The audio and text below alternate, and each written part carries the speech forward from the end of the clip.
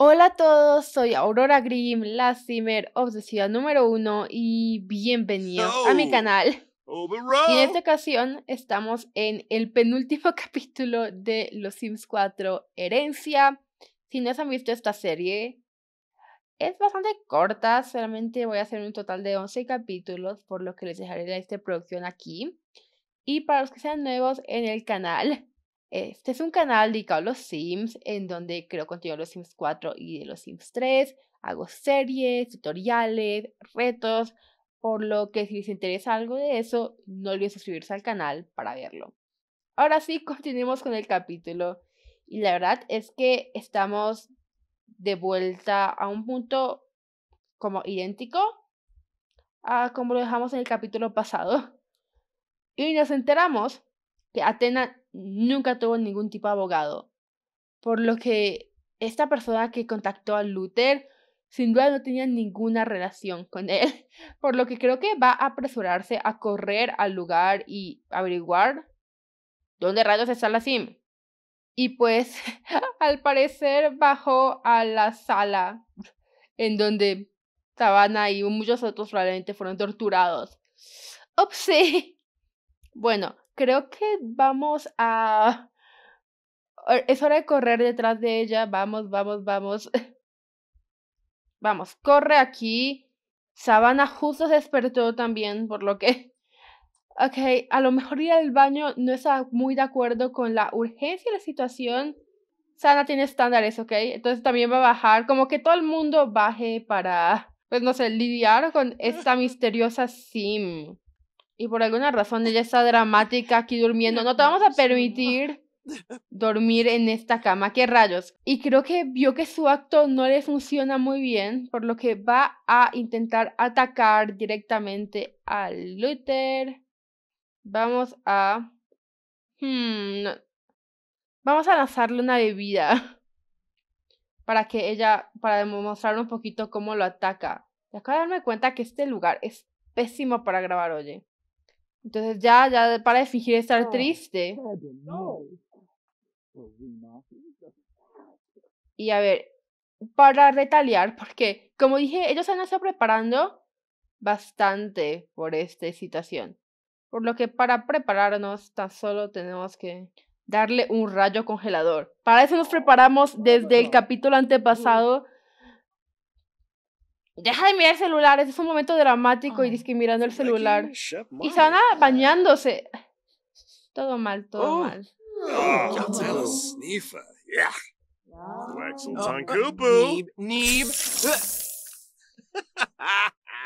Y así como así, atrapamos a ah. Luna Velona, nuestra abogada falsa, a la cual vamos a interrogar claramente.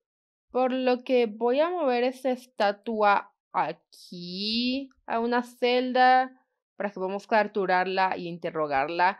Porque si les congelo ahora, voy a suponer que se a escapar y no queremos eso. Ok, ya moví la estatua.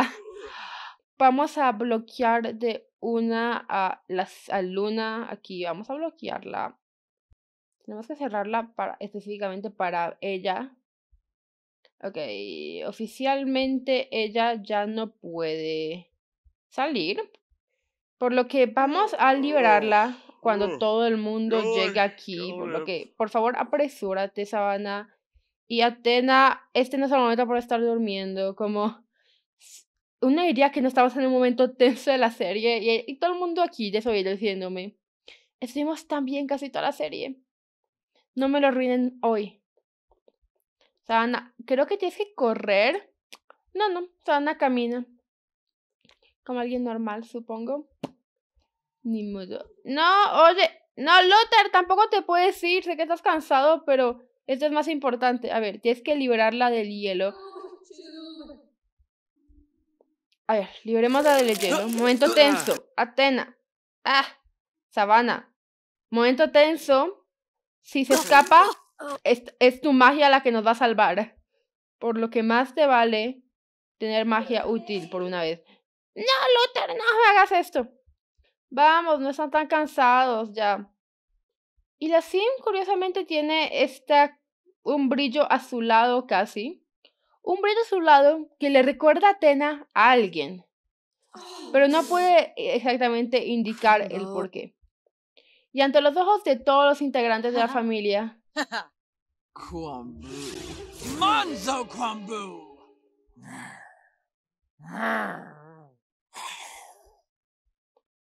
Luna Velona adopta una forma bastante singular, con piel pálida, o al menos más pálida de lo que debería ser su piel, y unos extraños ojos azules. Inmediatamente Atena la reconoce por lo que es, la Simi que llegó a su granja tantos años atrás. Por supuesto que Atena no sabía que yo existía. Mi padre se fue mucho antes de que mi madre siquiera supiera el embarazo. Dejarme en un testamento con mi nombre completo es simplemente ridículo. ¿Cómo es que nunca sospeché nada? Por suerte, logramos encerrarla en el sótano. Pero con sus poderes, quién sabe si puede escapar o no. Entonces, espero que esta machinima haya servido para mostrarles un poquito la perspectiva actual que tiene Luther en todo este incidente, en serio se siente como muy estúpido, lo cual no es su culpa, quiero decir, es normal que no haya sospechado nada, estaba en un momento de debilidad y pues esta era la oportunidad perfecta, como dije, de ver un poquito su vida, por lo que no se lo cuestionó demasiado. Pero Ahora vamos a conocer un poquito la historia porque oh, creo que esta sim ah. es una sim razonable. Razonable en el sentido en que está atrapada. Literalmente tenemos una bruja aquí, un rayo congelador, puerta cerrada. Ella sabe que este lugar es impenetrable porque razones que voy a explicar más adelante. Simplemente les va a decir todo lo que necesitan saber acerca de lo que pasó. De edad es Luna Velona. Sin embargo, no es una abogada, es una científica. Y... Oh my god, se desmayó. Luther se nos desmayó por el shock. Ok, vamos a, va a seguir hablando con el resto de la gente, supongo.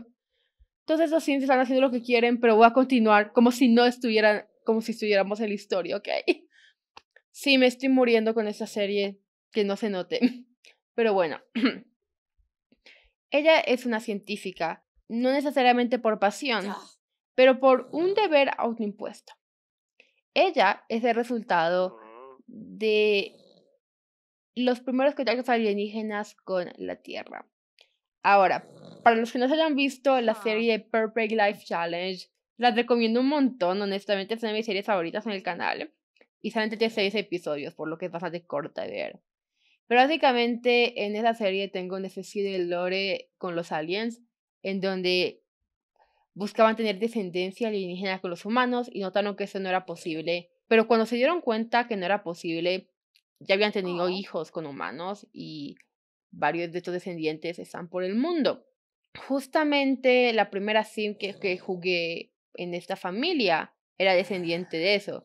Y es por eso que muchos miembros tienen esta piel azulada, por una característica de estos híbridos entre alienígenas y humanos. Y ella es uno de esos híbridos. De hecho, tiene la piel azul en su forma vampírica, por lo que no estoy muy segura por qué no está azul ahora mismo, pero imaginémonos que en teoría su piel es azul, ¿ok? Oh. A ver, sigue, sigue como interrogándola, por favor, Luther. Necesitamos apoyo aquí. Hablar de intereses, ok. Y básicamente, lo, el primer contacto fue hace muchos años. Por lo que no tiene sentido que siga viva, pero ella está explicando un poquito que ella encontró el, una especie de vampirismo, por lo que se convirtió en una vampiresa y es por eso que perdió un poquito ese tono azulado en su forma humana, pero lo conserva ligeramente en su forma vampírica, que en teoría debería tener, porque más es esto. Pero hace un par de años se enteró que los descendientes de alienígenas ah. siguen en pie. Y aunque no se enteró demasiado, en Jean Baptiste porque su ADN era muy alejado, sí que se interesó en Atena, ah, ya que era descendiente directa de un alien y de un humano. Y decidió que iba a eliminar a todo rastro. Es así malvada, por lo que toca tener algo de lógica.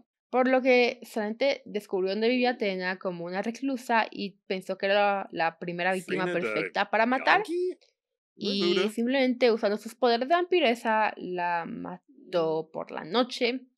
Y al ver la mansión y al ver que después de un par de días nadie se le ocurría reclamarla.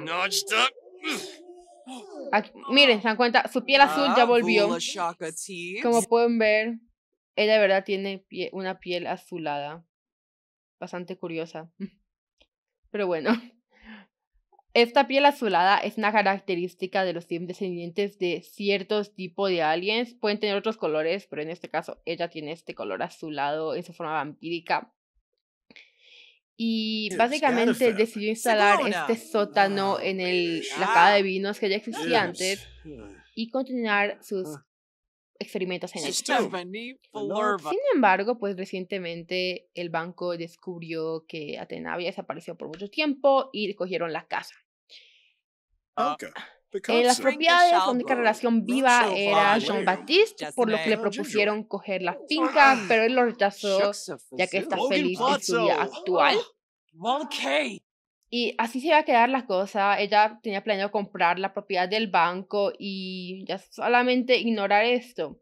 Pero el banco milagrosamente encontró la existencia de Luther, ya que aunque su padre nunca lo reconoció, la madre sí que marcó el nombre de Jean-Baptiste en su nacimiento.